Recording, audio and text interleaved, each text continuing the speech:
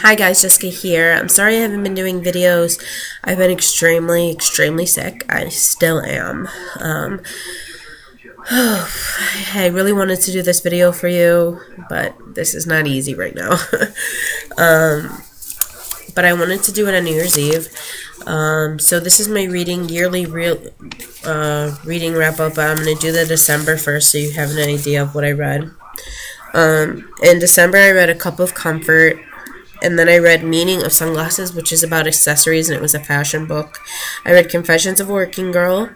I read the 12th book in the Clique series, These Boots Made Are Made for Stalking. I read Delirium during the book Booktubeathon, and I also read The Looking Glass Wars during the Booktubeathon. Um, and then I read My Little Phony, which is the 13th book in the Clique series. That's all I got done this month. I was busy, and then I was sick, and it just it wasn't a sickness where I could just read. Um, I've just been too sick. Um, I read My Little Phony at the beginning of my sickness, but so I my goal this year was to read 100 books and I met that um, in September. This coming year I'm not going to do a reading goal um, just because I know I'm going to meet it. Um, and I don't want to put the pressure on it. Um, it was good because I really powered through. So pretty much um, I read eight books in January.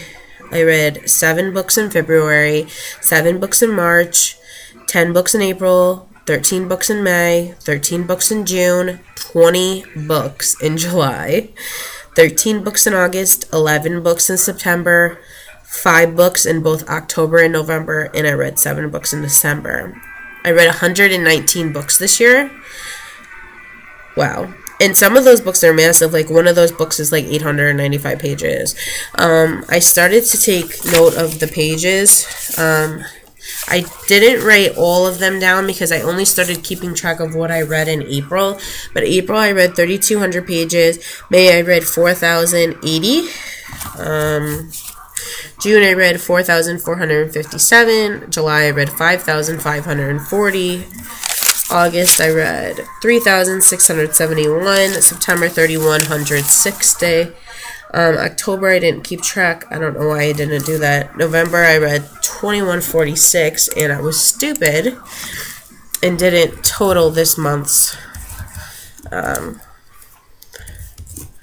pages. So I'm going to do that while I talk to you guys right now um, because I'm curious. I really was successful during the booktubeathon, and I never really commit to those things It just happened. That I read Delirium, and I got in a really good rush for um for reading, and then I read The Looking Glass Wars, and I really really loved it. December, I read 2,099 pages. Um, so, what are some of the books I like this year? Okay, so I'm going to list some of the books that were my favorite this year, and then I will tell you my top five books of the year at the end. So some of the books that I liked this year was Diva by Jillian Larkin and the entire Diva series. It's the Flapper series. It's fabulous. Um, Cinder by Marissa Meyer, and that's the book that surprised me the most this year. I never thought I would enjoy it. It's usually not my cup of tea, and I really enjoyed it. Walking Disaster by Jamie McGuire. I started getting into the new adult series, and it was really fun. The Magnolia League and the White Glove War um, was a really fun, unique, paranormal kind of uh, series. Matched was fabulous. Born Wicked, another one I loved. Divergent, another book I never thought I would like. Grimm Legacy, which thank you to Books, Boys, and such. I picked that book up from the library, I believe, and I remember he had talked about it, and I enjoyed it so much that it made my list um, for the year. Discovery of Witches, I really can't even. It was just so fabulous.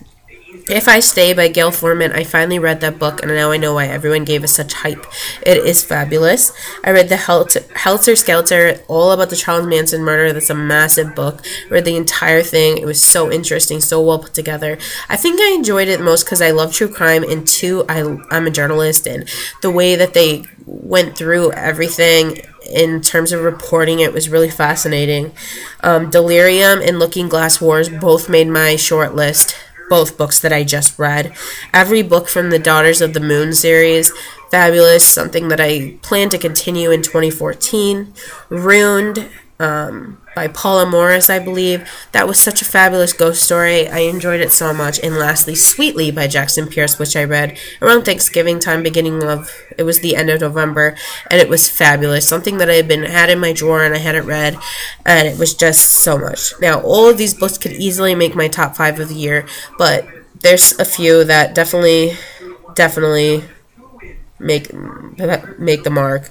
Um, it's actually top six. So, of course, the Magnolia League and White Glove War, those two books are on my top five or top six of the year.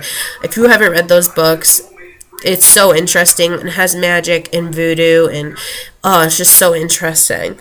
Um, Born Wicked is another book on my short list for my top books for the year.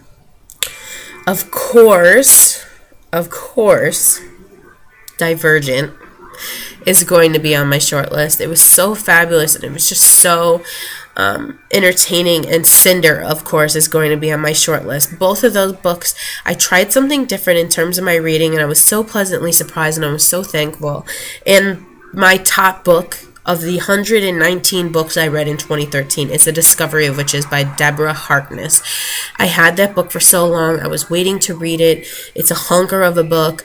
It was so intimidating and it was so fascinating. I did not want that book to end. I need to continue that series. So pretty much what I'm going to do now is I'm going to go through all these books, all my lists, and compile a list of books that I need to read from these books, um, continuing on the series and stuff, because I'm running low on the books in my drawer and it's going to be time for a haul soon. So that is my 2013 reading wrap up. I will talk to you guys soon. Hopefully, I'll be feeling 100% better. And um, I hope you guys have a happy new year. Bye.